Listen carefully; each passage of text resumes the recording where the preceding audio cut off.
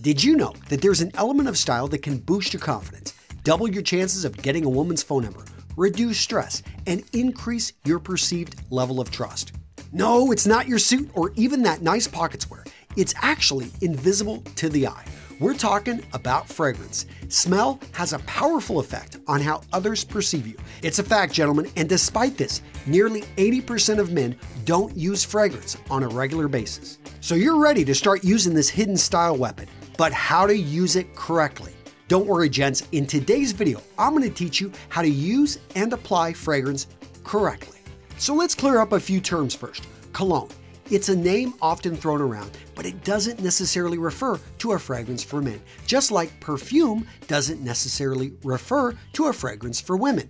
Cologne and perfume are different names for the concentration of oils contained in the fragrance. A cologne is going to be about a 2 to 4% oil concentration. An eau de toilette is going to be about a 5 to 15% oil concentration, and a perfume is going to be about a 20 to 30% oil concentration.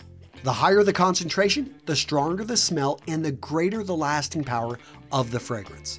Sillage is a term you may hear, and this refers to the degree in which a fragrance's smell will linger in the air. Okay, so at this point, you're probably wondering, Antonio, where do I get the right fragrance for me? Do I have to go out and spend $100 buy that big bottle and find out I just don't like it? Guys, don't do that. I want you to go check out Scentbird. I'm linking to them down in the description. They're the paid sponsor of today's video, guys, and this company is awesome. Why? Because in three steps, you can find the perfect fragrance for you. Step one, go to their website, start your subscription, less than 15 bucks a month.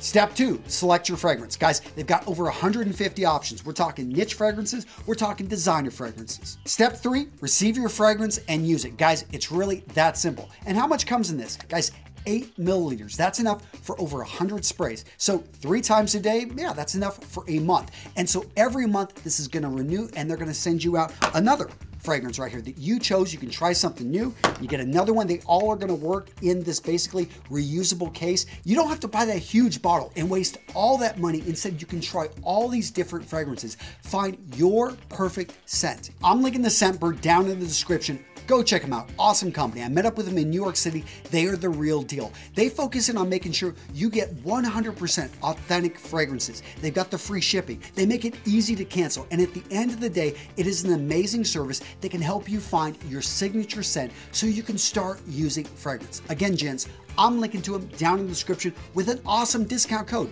Use it or lose it. So now let's discuss how to actually use, apply, and wear a fragrance. You want to apply the cologne to the warmest parts of your body, as your body heat will help to push the smell of the fragrance out throughout the day. Now, it's important to apply fragrance to dry, clean skin if you want to get the most miles out of it. Me personally, about 10 minutes after I'm out of the shower and I've dried off completely, that's when I like to apply it. Great areas to apply fragrance, and note you don't need to apply it to all of these areas, are behind the ears, the back of the neck, the chest, the shoulders, the wrists, the inner elbows, and the forearms. Exactly where you spray is going to be your own personal preference. Me personally, I like two sprays right on the chest, but I know some men, they want to go back of the neck. Other guys, they want to have a few extra sprays here or there on the shoulder, on the wrist. Again, up to you. Now, when spraying the fragrance, you want to hold the bottle about three to six inches away from your skin. Now, if you just finished shaving, don't spray fragrance on your neck. It contains a high percentage of alcohol and it can be painful and cause irritation.